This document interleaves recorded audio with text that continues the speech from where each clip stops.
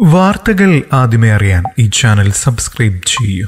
പുതുപുത്തൻ വാർത്തകൾ നേരത്തെ ലഭിക്കാൻ ബെൽ ബട്ടൺ ക്ലിക്ക് ചെയ്യാനും മറക്കരുത്.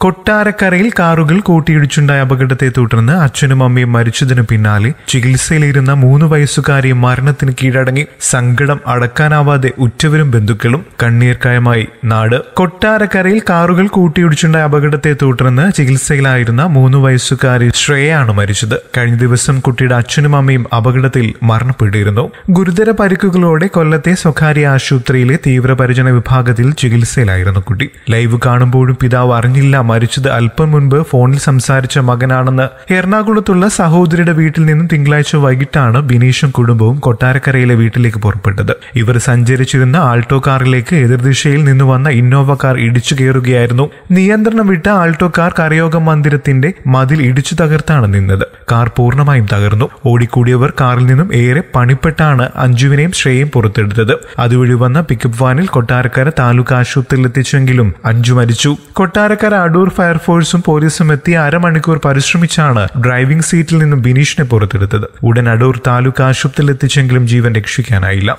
ഓട്ടോമൊബൈൽ എഞ്ചിനീയറായിരുന്നു ബിനീഷ്. കൂടുതൽ വാർത്തകൾക്കും വിശേഷങ്ങൾക്കുമായി ഈ ചാനൽ സബ്സ്ക്രൈബ് ചെയ്യാനും മറക്കില്ലേ. നന്ദി.